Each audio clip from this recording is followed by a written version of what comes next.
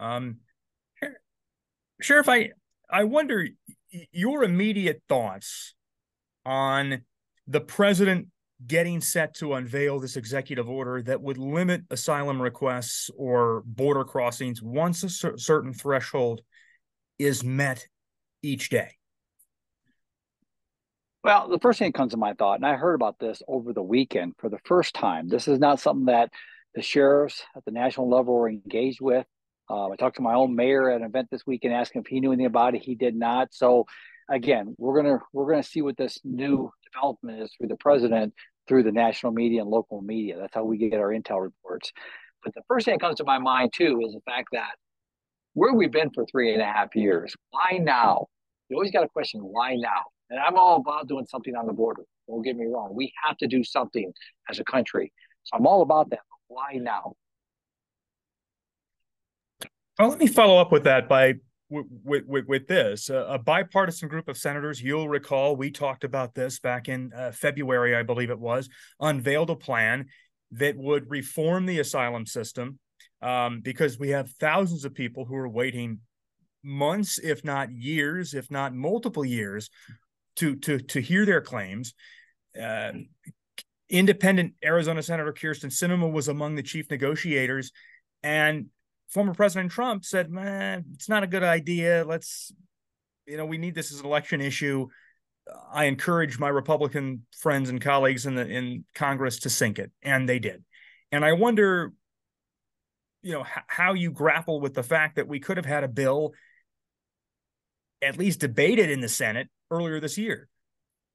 Well, I can say this to you is, and I told Senator Sinema this, I told Senator Kelly, we look for opportunities to engage. We look for opportunities to come together to make what's best for our community. At the end of the day, it's not about us. It's about how we serve and secure a border and how we serve our community under public safety. So that's number one. Number two is the fact that it, I'm where was going to go with this. I got people behind me. That's why it's throwing me a little bit. So, uh, so hold on, Eric. Can I stop you for a minute on this interview just for a second? Gentlemen, it's right here. Go on in there. Go on, take a look at it. Feel free. I'm on doing an interview, so feel free. And I'll be with you in just give me about five minutes. Okay, sorry. Is everything okay, Sheriff? Yeah, I'm good. I just okay. got five things going on at the same time. This no problem. 30 minute window is like five things. But uh, so that's what the engagement. And the other thing I would say when it comes to this bill. And, and I, I said it before, and I'll say it again. As a sheriff, I did everything I could to engage the collective parties, from mayors to sheriffs to our congressional Senate people. We first found out about the bill with Senator Sinema's office uh, when they called me. I, invited them 48 hours later in Washington, D.C. We had a national sheriff's meeting. Hundreds and thousands of sheriffs would be there. Invited them to come address the sheriffs and let's talk about this. Eric, nobody showed up. That was on a Sunday in their backyard. Not one person, to include a staffer, showed up. Both Republicans and and also uh, Democrats showed up for that. That was disheartening to your American sheriffs. So that's where I say a little bit of a frustration on that level. We want to see something that's done right. We want to see something that's been engaged by all parties, so we serve all the people. When was this? When when was this? When the bill was being worked out? When the the bill was announced, uh, the week the bill was announced, uh, when we were got first notified of this. So I got a call on a Friday. I was in D.C. on Sunday for national sheriffs uh, to include our border security for sheriffs throughout the country. They had an open invitation to come address. I changed the agenda. They wished if they showed up to make sure they had the floor because that's how important it is to America's sheriffs. Not one person or a staffer showed up. So again, this goes back to: Do you really want your communities involved? or are we doing this for political reelection or political parties? And I don't. Uh, bottom line is this: we got to protect America. We got to protect our country. We need we need executive decisions. We need laws that enforce the rule of law, but also protect the people. Just, I just want to follow up. So, so, so, so, so the, the schedule was changed because this is news to me. Senators were invited or their staffs and Congress, Congress, congressmen and women as well, and no one showed up that weekend. Nope. I got a call on a Friday afternoon from a staffer from Senator Sinema's office saying, "Sheriff, we need to get sheriff support." And this is what the bill is. I had no idea what the bill was, and I chair the National Sheriff Association. I said, "How ironic!" I said, "I appreciate you calling me Sunday. I will be in Washington, D.C., down the street from the Capitol. You have an open invitation to come to hundreds and thousands of sheriffs because this was the National Sheriff Association Winter Conference. And this was our border security meeting on that Sunday. The, the staffer said, I will let the senators know, I'll let uh, the parties know, because this was Cole um, bipartisan bill. Nobody showed up on Sunday. They called me Monday and said, Sheriff, uh, we need your support. I said, I had an open invitation for you yesterday. Nobody showed up. On Monday, uh, I made calls to get the our national sheriff's people involved in this. And um, and again, nowhere, Eric, I'll tell you, nowhere did discussion with any sheriff that I was in any room when we talked about this ever talk about President Trump or his wishes. He has nothing to do with what decision sheriffs make in this country. Uh, we do it because it's right for the people we serve. I, I'm I'm curious what you would tell those in Washington, including President Biden, including the senators and and and and and, and members of Congress who ultimately are tasked with making immigration policy. We haven't seen meaningful immigration reform in this country in about 30 years or more. What would you tell them as somebody who um, leads a a department of, of of of of deputies and law enforcement officials on our southern border? I would tell them this: they were elected by their communities, by the citizens of this country, respectively within their respective districts. They were and states to protect them. Number one priority of any elected official is to protect the people they serve.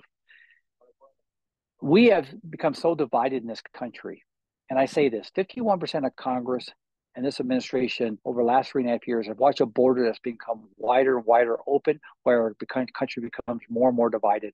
We got to stop protecting the parties and start protecting the people that we were elected to do. And until we do that, and we got to prioritize the fact that the rule of law needs to stand in place. We have a rule of law that will work, but until we, we engage it, we acknowledge it, and we prioritize our borders in this country, and that's both parties, we're going to be in trouble. I have two last questions. The CBP numbers have showed that that that in April there was 179,000 migrant encounters along the southern border. That's from California all the way to to, to, to Texas. Um, but that number is sharply down from 302,000, the historic high last December. So, are you seeing a change? Are you seeing a difference over the last few months? So I'll put it in perspective in the fact that what we see in Cochise County as part of the Tucson sector, specifically to Cochise County, is the gotaways. So we, whether they're coming across border for give ups, as a lot of those numbers are uh, describing, we deal with the gotaways and we have at a record number over the last three years. So we still see the influx of smuggling, we still see the high speed pursuits and, and the crime associated with. So we see maybe a small tick when it comes a downward tick when it comes to what's going on but what's going on here in this county, and I, this is something else I say all the time, Eric. I think it's important to say it on this interview, is the fact that every day that we ignore what's going on on our borders, every day that we don't prioritize what's going on on our border, is the day we see a tragedy or we see a life change in this country. We have to, whether it be poisoning of uh, fentanyl, whether it's a, a juvenile involved in smuggling, whether it's a death in my county or somewhere else, we have to do a better job of collectively working together, state, local, and federal, because that's what the people expect. Is it is a cap on a daily threshold of asylum seekers or or border crossing something you would support, something you would get behind? I, I know I know you've had some disagreements with President Biden in the past. My biggest disagreement with President Biden, let me just clarify this for the record, is it's fair to engage sheriffs in this country. We have tried to engage our president. Congress does what they do. We've talked to many congressmen, I testified many times, and, and still we have no results. We have tried to engage this president to work with sheriffs as representatives of their respective communities, and that is but that's where my frustration starts with, Eric. And we've seen for three and a half years a lot of tragedies. We could do a better job. That's where I get frustrated. Is is this something that you can get behind? This possible executive order that could come as soon as tomorrow? I will support something because right now we have nothing. So I will support something. Uh, add that to the rule of law, which already currently exists, we could do something, but we have to get engaged. Just like I, I have to hear through the rumor mill, through media, that there's even an executive order coming out. Think about that for a minute. It's not like the sheriffs on the border that are engaged in this haven't been active with this and asking for attention, acting, ask, asking for solutions. But I hear it this way. So again, um, we will sit back. We'll see what's announced tomorrow. But I don't turn my head when it comes to a public safety issue. That's what I represent. So whatever it is, we'll look at it. We'll see if it's better. If it is, I'll support it 100%. So I or we told you about this. I had another media call me this weekend. So one media ahead of you called me, and then I had Understood. another media this morning call me. That's how I'm okay. finding out about it through media reports. Hey, we want to do a report. I had to go look and see what we even were going to talk about today. So again, that's how I'm finding out what's going on. I still don't know exactly what's going to be announced tomorrow. But again, if you're truly engaged with government collectively, I'll tell you right now, we can do amazing things in this country. That's what's fractured my final question is a follow up to that, and I I always appreciate your time because you're you're always so thoughtful, um, and you always make me think too. So I really appreciate that. No problem. Um, what do you think it is that we miss on this issue or other issues when it comes to politics and the border? What is it that we're missing? We're missing rational reality. We truly are. You look at narratives on both sides. But if you get in the middle, you find the people. That's what we're missing. We got to get back to the people and the rational reality, not the irrational, the extreme. I'm talking about rational reality, what we see daily on our border, what the people talk to me about daily. You hear the New York Mayor uh, Adams, you hear Bowser out of Washington, D.C., and Denver mayors and other ones talking about it. Hey, I need money. I need money. Let's get back to rational reality let's talk about border security. Let's talk about immigration reform, but let's do it collectively. That's what's missing.